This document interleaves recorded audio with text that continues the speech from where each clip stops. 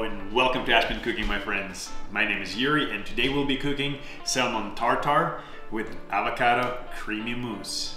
I'm absolutely positive that you guys have all of these ingredients in your fridge, um, or if not, it's super easy to get. Uh, the only difference here, I guess, on the salmon, we're using a sashimi grade salmon, and you might not have fly fish roe, you know, for decoration.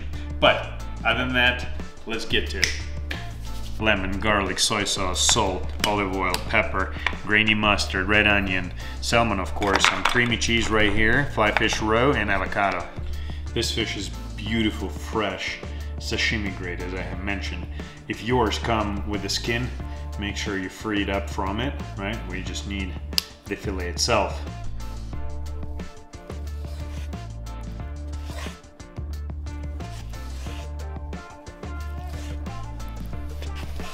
Basically cut it up into cubes. If you want to freeze it a little bit, it might be easier to cut. That's kind of up to you. But these are the cuts that I'm looking for and I'm going to start chunking them across. Look how beautiful that is. Look how fatty. Mm. Guys, marbling is flavor. You want it with a lot of marbling.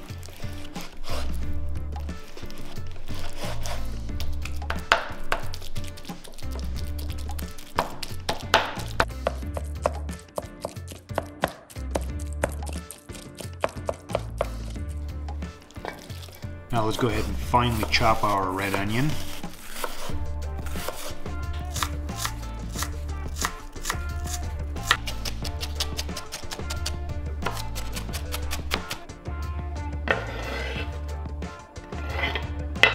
Our salmon is in, our onions are chopped. We're going to do a pinch of salt, just like so.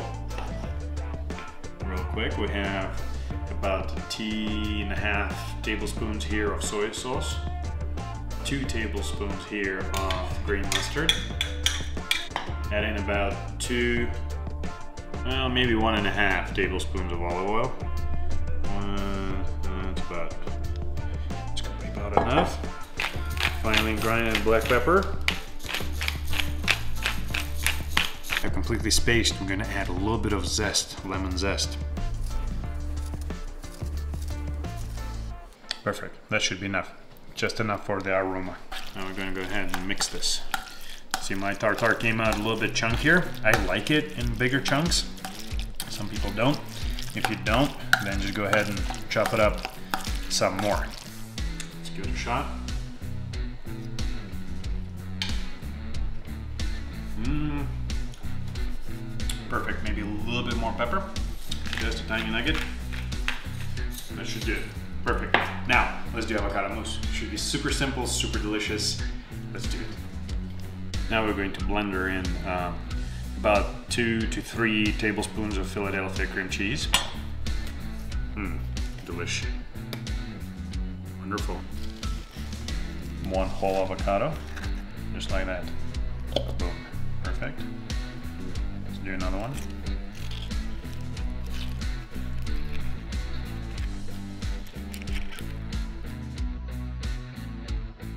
We have one fresh clove of garlic.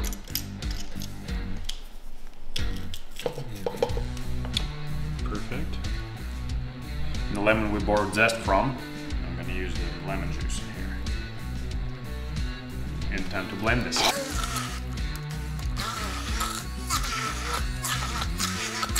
For decoration, we're going to use a, a cucumber. Absolutely an extra step.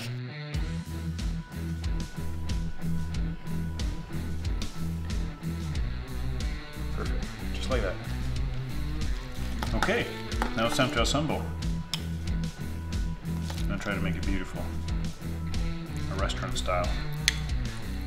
Now carefully flip, perfect. Remove. Let's get our cap. Whew. If for whatever reason you don't have something to form it with, use foil. Foil will work just fine.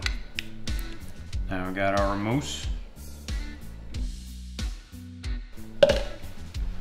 Try to spread it here like they do in restaurants. Never tried it before. Does that look good? That does not look good. Does that? Now we're going to add our roe. Another one. Final touches. Get some herbs. Go ahead and add them in. Wasn't it simple? Told you will be. All right, now I'm going to give it a try. Ugh, I'm really curious. Let's see. For tartare alone. Come on. Mmm. Wow. If you're into sashimi style foods, this would be great. Oh my god, this is so delicious. Man, this is salmon tartare. Something else. How about this? Mousse. Avocado mousse. Mmm. Now, that complements our tartare amazingly. Mmm. And this roe, it just pops in your mouth. Delicious. Guys, as always, if you like what you see, give this video a thumbs up, subscribe, and we'll see you in more videos for you. This is my homemade style portion right here. None of that restaurant fancy pants, you know, just straight up good food and it must be a lot of it and is meant to be shared with you, my subscribers.